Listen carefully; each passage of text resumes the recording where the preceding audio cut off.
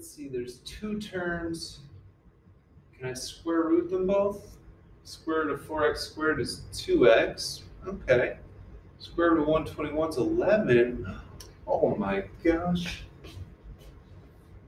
2x plus 11 times 2x minus 11. It's the difference of squares. oh my goodness. Foil it out if need be if you want to check your answer. That's a great idea. That's a great idea, Mr. Plan. Oh boy. We're off the page. That sounds like someone getting distracted while reading the book. We're off page. All right, 9b squared minus 4. Can you square root both of them? Yes. Square root of 9b squared is 3v.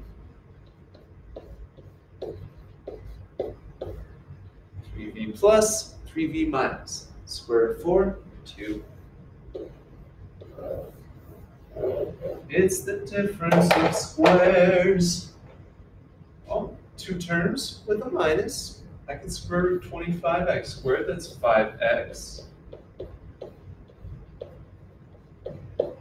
I can square root 64, 8.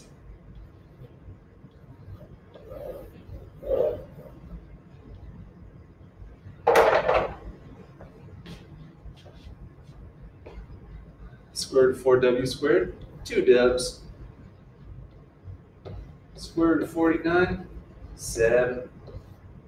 2w plus 7, 2w minus 7. We just have one more set of examples.